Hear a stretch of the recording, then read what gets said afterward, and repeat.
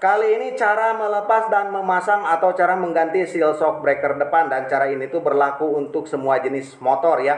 Langkah pertama lepaskan bagian seal debunya menggunakan obeng min kecil seperti ini didorong hati-hati jangan sampai melukai bibir bottomnya ya seperti ini nih. Dan ini sudah terlepas. Selanjutnya lepaskan bagian kawat penguncinya ini ya. Nah, yang bagian pinggirnya ini kan ada celah tuh. Nah, ini dicongkel ya ditarik seperti ini kedua belah sisinya sampai terlepas Lalu setelah terlepas bersihkan terlebih dahulu ya karena ini banyak dage-dage dan kotoran yang mendaglek di sini. Selanjutnya baru kita lepaskan seal shock breakernya ya dicongkel menggunakan apa aja. Namun di sini saya menggunakan congkelan ban seperti ini. Sebelumnya diganjel dulu memakai kokolor ya, memakai apa aja lah cangcut bisa boleh ya pampers boleh.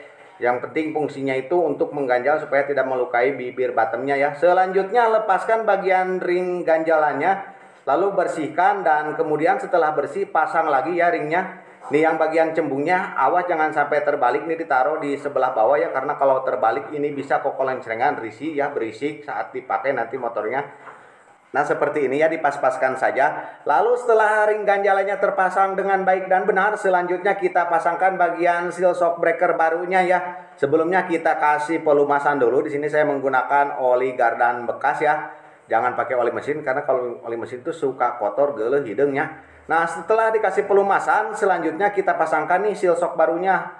Dipaskan seperti ini ya. Kemudian cabok seetik jepretnya seperti itu. Lalu setelah terpasang setelah nempel seperti ini nih selanjutnya kita dorong menggunakan seal shock bekasnya seperti ini ya dipaskan nah dijampe hela nah setelah pas lalu kita ketrok-ketrok menggunakan palu menggunakan batu apa aja yang penting bisa mendorong ya seperti ini ditakol-takol namun hati-hati jangan sampai merusak sampai masuk mentok presisi rata seperti ini ya. Dan selanjutnya kita pasangkan kembali bagian kawat penguncinya nih. Nah seperti ini dipencetkan ya sebelah pinggir supaya mudah saat memasukkannya. Lalu setelah itu didorong sampai pas di dudukannya atau di alurnya ya seperti ini. Dorong saja menggunakan jari jempol menggunakan koret suluh parang boleh ya. Yang penting masuk dan tidak merusak seperti ini nih. Nah ini sudah pas. Selanjutnya kita pasangkan lagi seal debunya. Dicabok sedikit cepretnya sampai pas seperti ini Nah ini sudah terpasang dengan baik dan benar ya. Kemudian selalu gunakan suku cadang atau spare part yang asli original. Baik original bawaan motor ataupun original aftermarket ya. Yang asli spare partnya supaya awet presisi dan tidak musingkan saat proses pemasangan ya.